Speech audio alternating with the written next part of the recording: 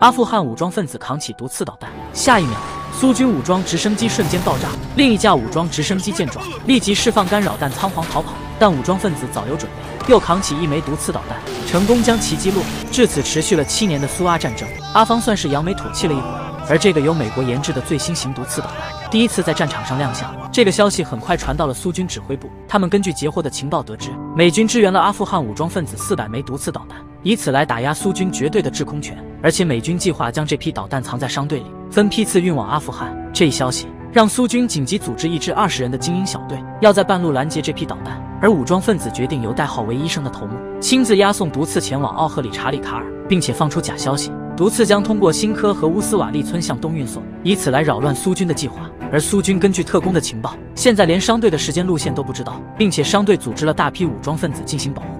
此时，苏军少校申请进行侦查工作，抓一个囚犯，了解更多情况。而另一边，武装分子集结完毕，放言这是与异教徒的圣战，是对真主的责任。说话间，将一把冲锋枪递给一个小孩。在高喊乌拉的口号下，商队正式出发。崎岖的山中，一辆乡间巴士被突然出现的苏军拦下。就在盘查后备箱时，士兵从装有粮食的麻袋中发现了一枚反坦克地雷，接着又对车上乘客进行盘问。苏军发现一名戴着名贵手表的老头，一看就不是什么寻常百姓，于是便将老头抓了回去。通过苏军少校的一番审讯，贪生怕死的老头招供出阿富汗武装运送导弹的路线，还表示武装头目将通过树林边缘。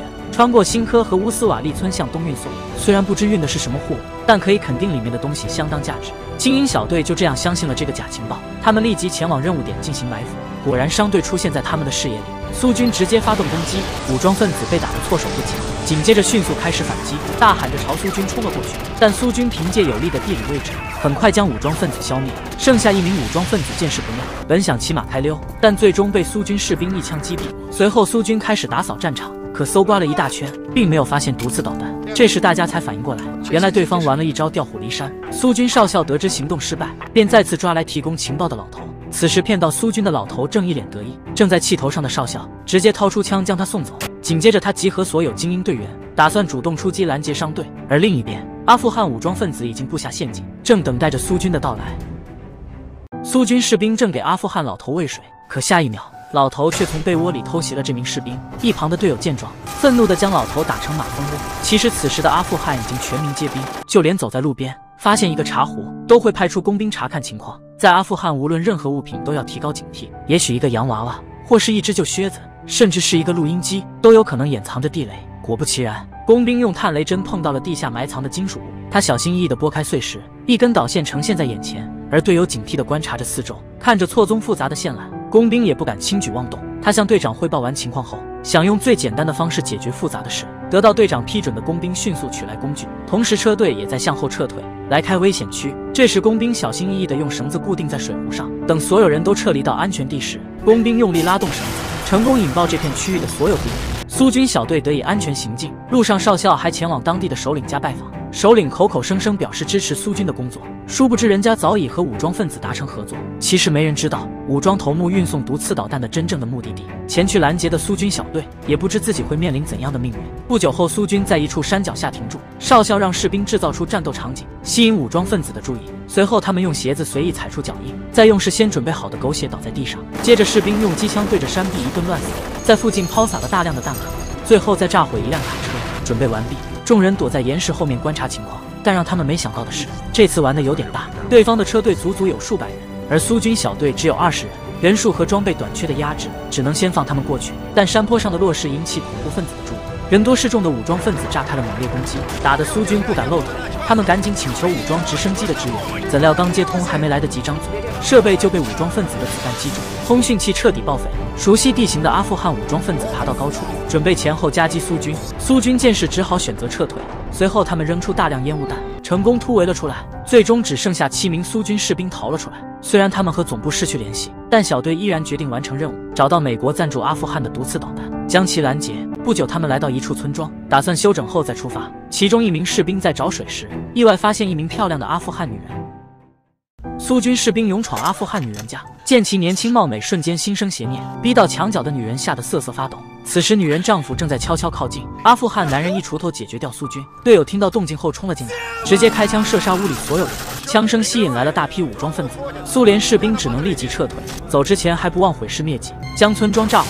随后剩下五名苏军士兵逃到一处矿洞，就在这时，一名士兵意外触发一枚鬼雷，当场被炸飞，几人只能拖着受伤队员继续撤退。然而巨大爆炸声暴露他们的行踪，武装分子迅速追了上来，双方展开激烈交火。被炸士兵为掩护队友撤退，直接拉响手雷与敌人同归于尽。剩下三名士兵成功逃脱。就在他们调整休息的空隙，发现两辆皮卡朝他们急速驶来，士兵迅速架好机枪发动攻击，将所有武装分子消灭后，他们开始打扫战场。怎知其中一名恐怖分子还没断气，他用最后力气朝苏军士兵扣动扳机，随后扔来一颗手雷。当苏军士兵再次醒来时，已经被武装分子头目俘虏。武装分子对着尸体拍照，受伤的少校也被死死踩在脚下。就在代号为医生的头目为自己的计划顺利进行沾沾自喜之时，一名幸存的苏军士兵偷走武装分子车上的毒刺导弹，击毁敌人卡车。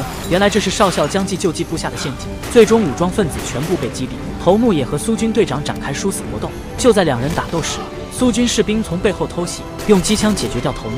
紧接着，两名士兵假扮成阿富汗人，开着皮卡车迅速朝营的驶去，一直开到皮卡车冒烟，两人才决定去村里弄点水。这时，小女孩看见村里来了苏联人，立刻从屋内拿出枪对准他们。就在他要开枪时，队长一把抢过女孩手里的枪，可子弹好巧不巧打中了侦察的苏军直升机。直升机以为遭到武装分子攻击，立即发射炮弹击毁村庄。两人见状，慌忙驾车离开。但直升机紧追其后，如今两人身穿武装分子的服饰，稍不注意就会被当成武装分子轰炸而死。情急之下，少校下车扛起毒刺瞄准直升机。飞行员见对方有毒刺导弹，立刻驾机撤退。中校接到报告，两名阿富汗武装分子正携带毒刺导弹向基地逼近。中教本想下令开枪射击，怎知拿起望远镜仔细一瞧。发现是前去执行任务的少校。就这样，两个身穿武装分子服装的苏军士兵，最终扛着毒刺导弹成功撤回到营地，完成了上级交代的任务。